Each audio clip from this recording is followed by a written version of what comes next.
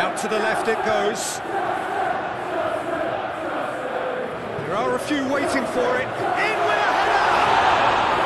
Could fall kindly. He hits the net. And with the match slipping away, they have hauled themselves off the canvas. Good did well the first time. That's one of the first things you learn, whether you're a striker or not. Just anticipate a goalkeeping, carrying a spillage, and sometimes you get lucky, it'll come your way.